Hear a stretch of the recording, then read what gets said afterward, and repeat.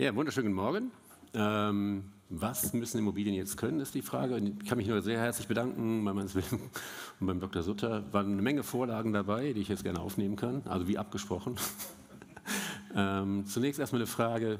Wir haben ja so ein bisschen Inflation, ne? ähm, wie man jetzt sieht. Mal schauen, wie wir, wie wir, was wir daraus wird.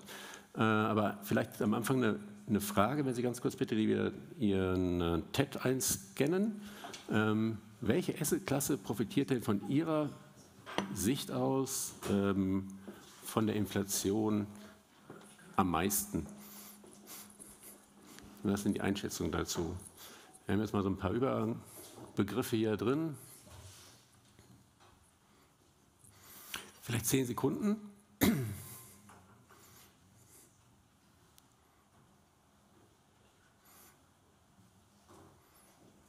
Also wie jetzt nicht lesen kann, Aktie, Immobilie, Rohstoffe, Energie, Cash, Staatsanleihen oder Unternehmensanleihen. Okay, bin gespannt. Ja, herzlichen Dank für die Vorlage. Ist fast richtig. Können wir schließen, bitte. Ähm, das ist jetzt von Bank of America, aber da gibt es ganz viele Studien zu. Ja. Ähm, die sind immer mit dabei, die Immobilien. Warum? Warum sind Immobilien immer dabei? Weil ich habe auch gestern mit einem Bewerter gesprochen hier, äh, einfach Bewertungshistorie. Man gibt ja diesen Kleiber Simon Weyers, wer ihn noch kennt. Da stehen also ganz schlaue Sachen drin in dem dicken Schinken.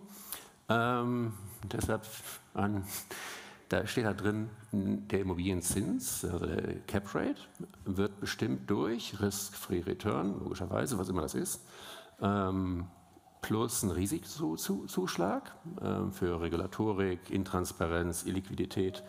Und damit ganz, ganz oft vergessen, abzüglich eine Funktion der Mietsteigerungserwartung oder Mietentwicklungserwartung. Die ist ja gar nicht in den Köpfen drin. Wenn Sie jetzt im Fixed-Income-Bereich fragen und sagen, okay, ich habe hier eine Staatsanleihe und die ist indexiert mit 3%, was, was macht denn der Fixed-Income-Händler? Das wird halt oft vergessen aktuell. Irgendwann kommt es wieder, momentan noch nicht, weil wir sind in der Entwicklung und die wird auch ein bisschen anhalten. Aber das ist die 10-Jahre-Schnitt 70er Jahre.